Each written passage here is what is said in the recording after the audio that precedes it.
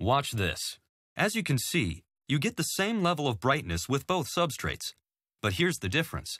For this demonstration, 30 LEDs are used with the Panagraphics 3 substrate on the right, and only 18 LEDs are used with 3M Envision Flexible Substrate FS1 on the left.